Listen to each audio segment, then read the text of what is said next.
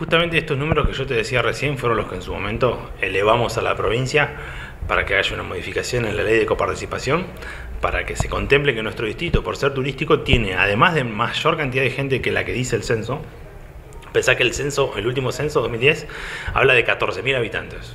Y nosotros haciendo una cuenta rápida, al cruzar medidores de energía, matrícula escolar, eh, padrón electoral, ya con el padrón electoral te da la pauta de que es mucho mayor que el número, eh, estamos arriba de las 20.000 personas seguro y con un 25% más de, turismo. O sea que para la provincia debería ser clara la, posibilidad de rehacer ese cálculo. Entiendo que por cuestiones de, toma de decisiones más generales no se hace y eso incide, como vos decías, por ejemplo, en el cálculo de las fases, ¿no? o de la proporción de cantidad de casos que tenemos respecto a la población.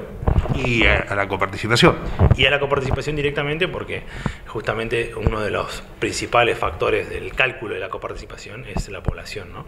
lo cual para nosotros también sería muy importante, de hecho presentamos un proyecto de ley eh, hace ya tres años, que no tuvo su correlato en la, legislatura, en el cual pedíamos justamente que se nos considere un destino, un distrito turístico como lo son los municipios de la costa, y que tienen en su cálculo de la coparticipación un, un dato más que tiene que ver justamente con el alojamiento. ¿no?